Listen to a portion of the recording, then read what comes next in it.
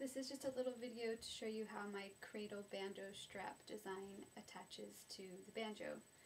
So the way that I have my banjo strap is there's two sides to it and both of them have these little loops and then there's also two places to adjust at the top with a D-ring adjustment and at the bottom with a D-ring adjustment.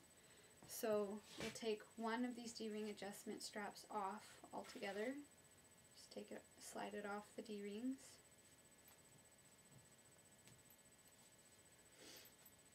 And then you'll make a slip knot with those loops. So you'll take one loop and feed it through and then take the other side of the strap and feed it through the loop just to make a simple and sturdy slip knot there.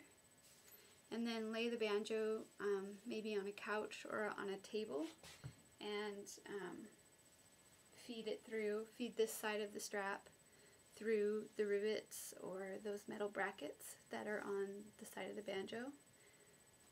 And it should feed through and then you can reattach that D-ring adjuster over here.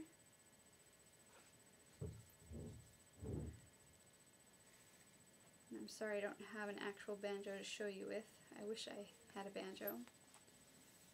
And there you go. So you'll have to use your imagination, but imagine I have a banjo cradled here. And you can easily adjust it from the top to make it longer or the bottom. And so that's nice and long, or just as easily shorten it from either the top or the bottom, whichever you prefer.